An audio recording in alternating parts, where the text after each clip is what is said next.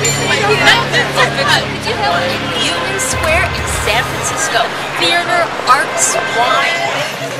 Jelly!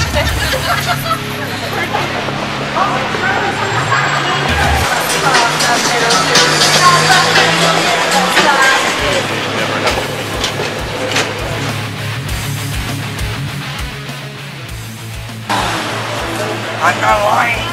Thank you. I hope you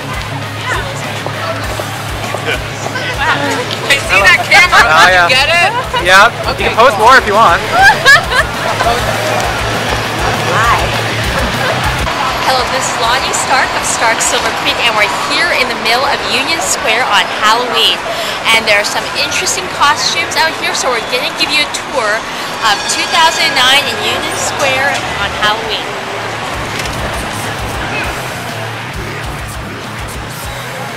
This is not the goddamn health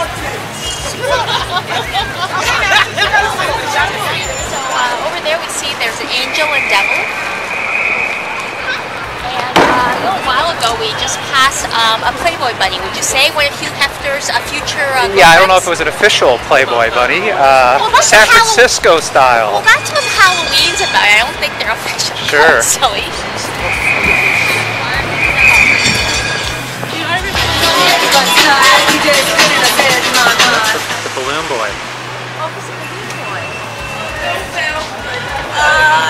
I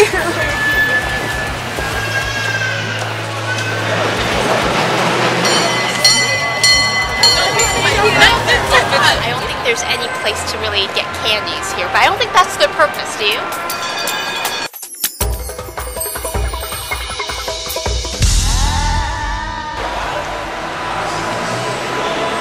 This is All Things West Coast. This is Loni Stark of Stark Silver Creek.